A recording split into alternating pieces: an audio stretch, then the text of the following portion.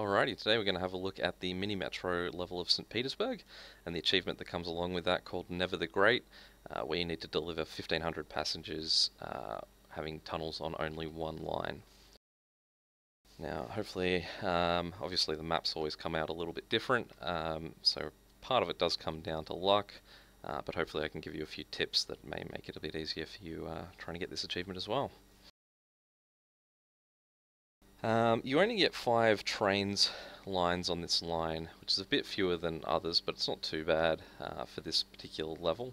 Um, we'll have our red just on this center island. Uh, we'll make our blue, the one that we have all the tunnels on, and then we'll just have a second um, line on this main island as well, and then probably end up having two on the east side of this river.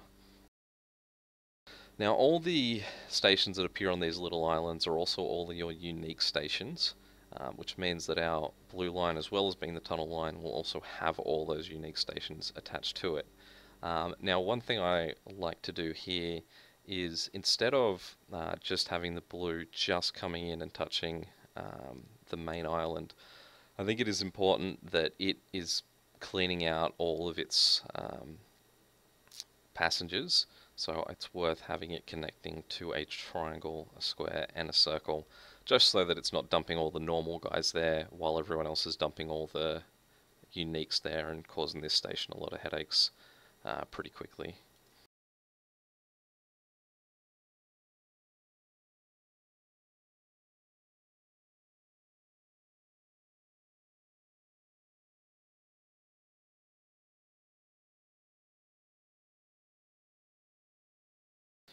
Um, another thing that I like to do generally when I build, um, this can possibly go down to preference, but I'll explain my reasoning. I um, think I'd rather have straight line station, uh, train lines, sorry, as rather than looping stations. Uh, the reason being, you can probably use this red line as a good example here. If I was to loop this around, um, you can see that now gives me three circles in a row. Um, and so with the trains going this way, by the time they get to this station, they may be full on whatever they're picking up from these two, and that'll cause them um, to sort of ignore this guy and then cause you problems. Um, generally, when uh, you can sort of set it up so that you've got trains going both ways in a loop, but um, I find that that causes you new issues. So, for example, if this station's about to bust because it's full, and you think, all right, cool, I've got a train coming this way that's going to clean it out. Sometimes it'll actually ignore, say, a triangle on here because a triangle is the next station this way. So the tr the train assumes that it's going to um, that the guy coming the other way will take that triangle faster and get rid of him, and so it will actually ignore um, passengers.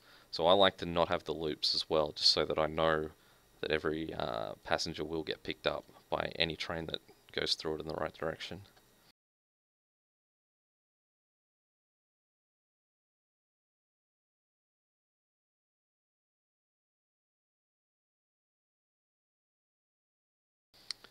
Might just rebuild this a little bit because we're wasting two um, tunnels doing it that way.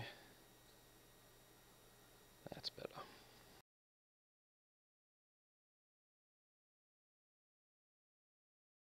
Generally when uh, we get to our Sundays and you get a choice of a line uh, or a tunnel or um, the carriage, I generally think that if you've already got a line down here that you haven't yet used, there's no point in grabbing another line because there shouldn't really any be, be any situation where you need to put down two lines in the same week. Um, you should, like that's a pretty drastic measure that you're moving there. Um, tunnels are probably now need, if you run out of tunnels and you can see that you probably will need to make another crossing. So for example, if they put a station here, Blue's going to have to cut across here. So uh, I definitely need another tunnel. Um, and then carriages are absolutely going to save the day in some situations. So yeah, if, uh, if you don't need tunnels and you, um, you have a line sitting there that's not being yet used, then yeah, definitely going to be carriages. And you can see now we definitely need to Hope they give us tunnels on this next one.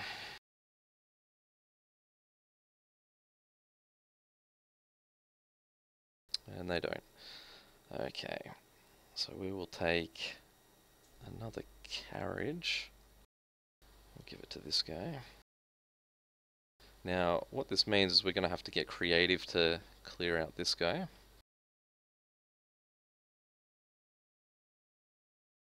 There's got to be a better way we can set these guys up. Let's um, let's come back to that. Now we can just keep an eye on him for now and see that he's only got the one passenger, so there's no urgency to, to get to him just yet. We also have a station in the back, uh, sorry, a train in the um, in the pocket that we can use to shift guys off him quickly if need be.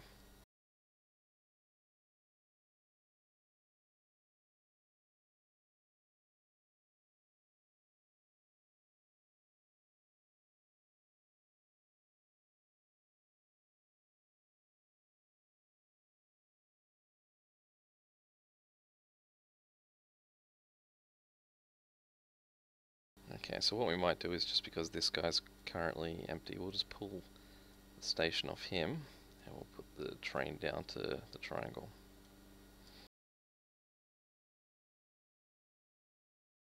Probably getting close where we can divide this into two lines.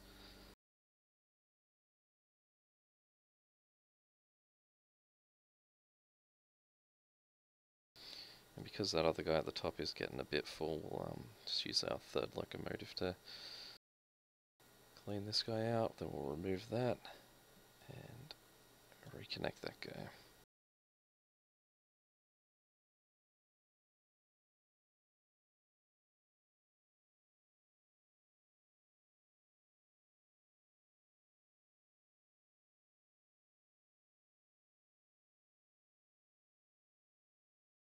Okay, so we might um, build green, just doing this layout there, and then we'll just get red off of all those guys.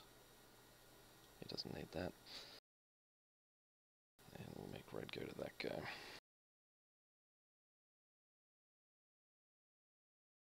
Now this is also a, um, and still going to be without that tunnel. Alright, we'll take a line now because we've used our third.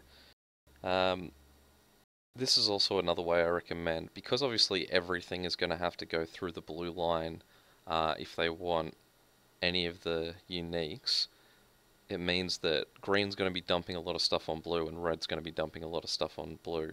So the best um, way to cater for that is to have them reaching two separate points um, on the blue line so that they're not both stacking everything in the one place and causing that particular station to um, overflow. So if they're doing two different ones, should split that uh, workload.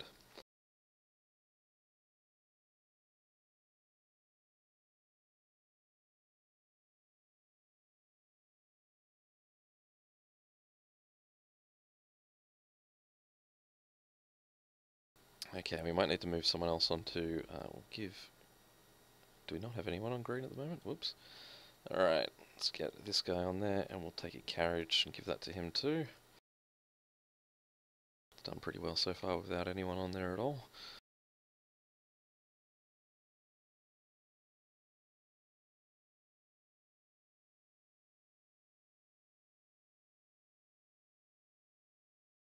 Oh, we even have the extra train sitting there that we might just use to clean that up a bit. Uh, feel free to move your trains around as well. Obviously, once you put it on a line, it doesn't mean it has to live there. Uh, just move them around based on uh, where you have the most need.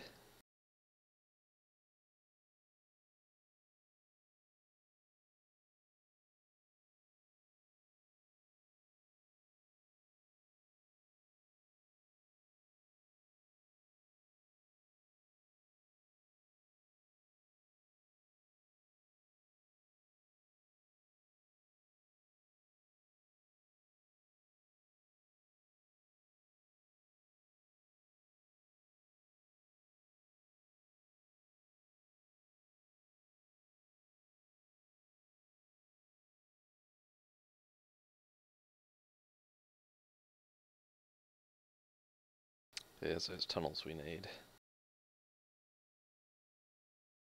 Okay, and because we're going to permanently have blue being longer, I'll give them that extra train.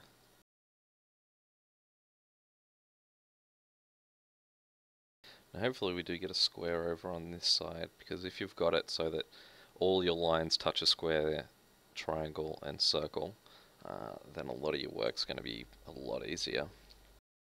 Um, the other thing that makes this track um, a lot easier to work with is that because all of the uniques are on the blue line, it means everyone is going to touch the blue line, and so everyone is just immediately dumping those to blue. Where you really get in bad situations is if, say, you had the yellow line just down the bottom here, and so for it to get to blue, it would have to drop off to red or green, and then they would have to drop off the blue. You're just creating essentially a middleman that is going to get a lot more work than what he needs and uh, cause you grief.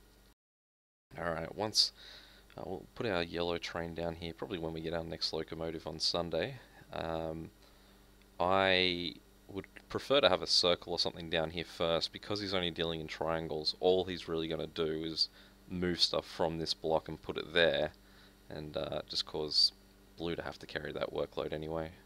So at the moment, until he gets something else there, there's no real uh, need.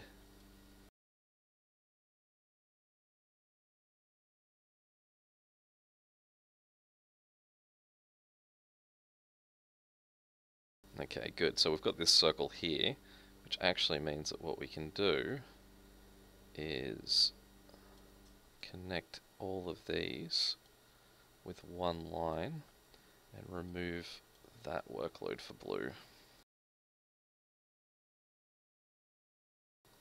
And we'll just uh, grab this guy.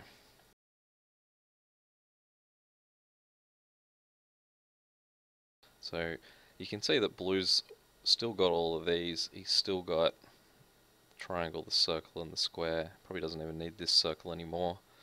But um, he isn't he isn't necessarily an overly long line. Um, I don't think I need another line soon yet. It'll only be if there's a flourish of uh, more stations up here. And I'd say the carriage will definitely help out our green friend down the bottom. And we'll just give him the extra train as well for now.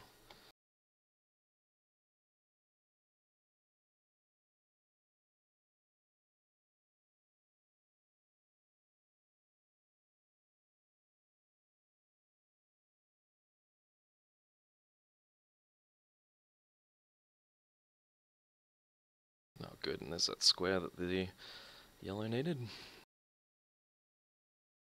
Now what could cause us issues out here with the yellow is that we do have three circles in a row already. So anything coming up here that could be more circles could really cause us some grief.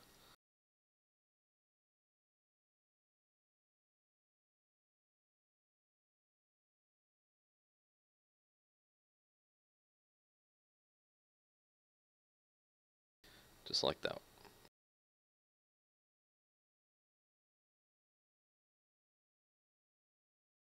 It really could be what our uh, final line gets used for. So we could say have yellow just connect from one triangle to the square to a circle to a circle and then have the other line come through and connect the other circles into the other triangle.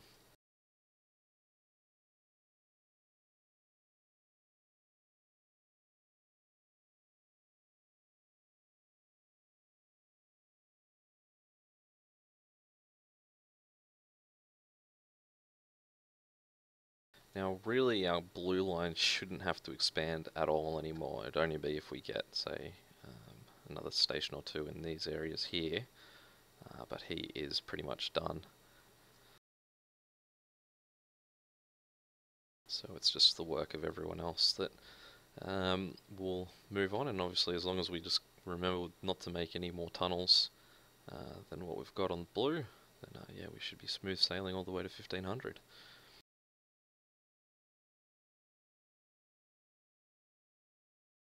Okay, green is getting a lot longer than what its red partner is there, so we'll just give one of his stations to red. Okay, so we'll take our final line. Uh, we will give this to red just to clean up a little bit.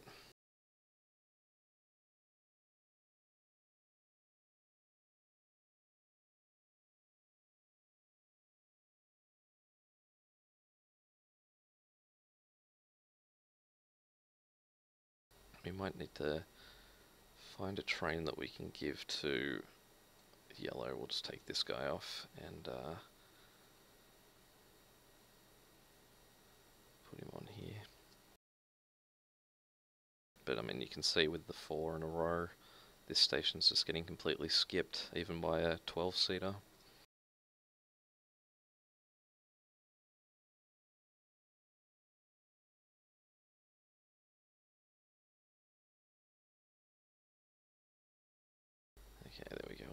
This,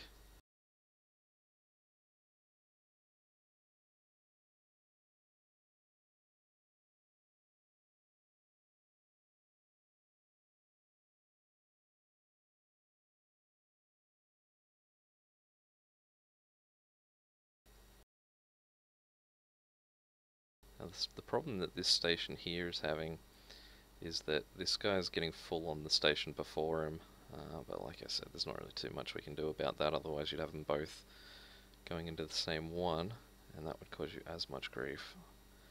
Uh, we might see if we can pull this guy off and just jump him ahead to collecting from that station, just to smooth it out a little bit. Uh, and we might also look at bringing in this other station up here. So what we'll do is take that and that and that off this line and then just build a line that looks like that to complement him. And we will just have to pull a train, take this guy and send him that way.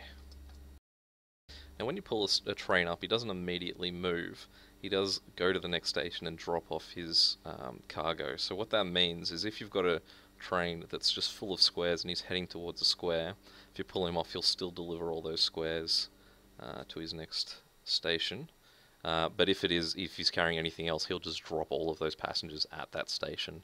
Uh, which in some cases it doesn't overly matter if you've dropping them at a station that doesn't have anyone there anyway.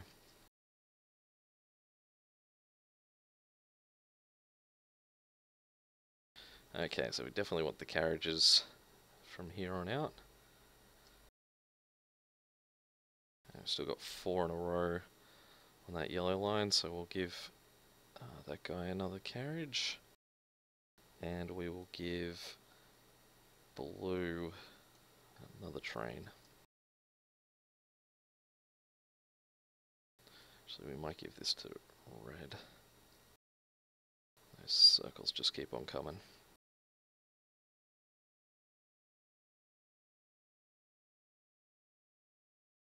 Okay, we're going to need to pull someone off. I'll put him there.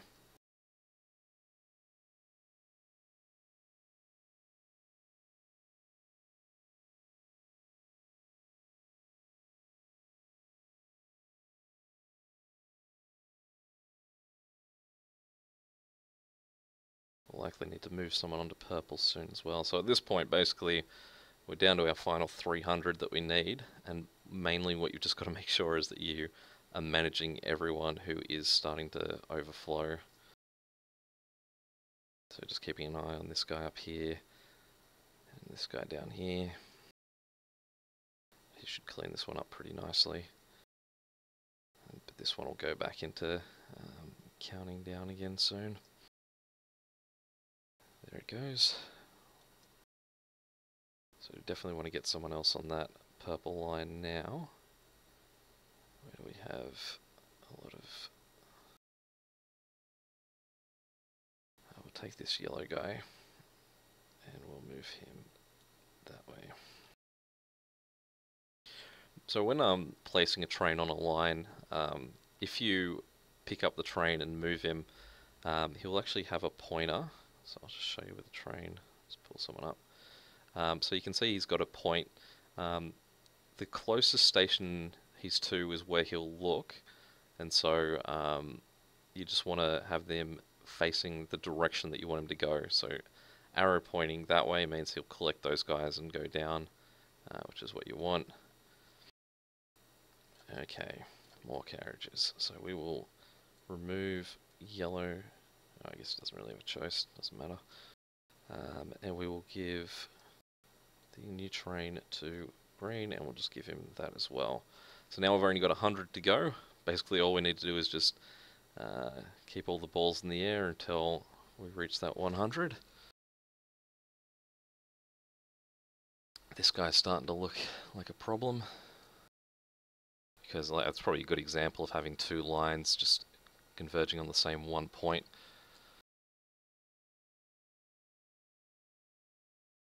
So we definitely want to keep an eye on him. This train should get to him before there's any real issue.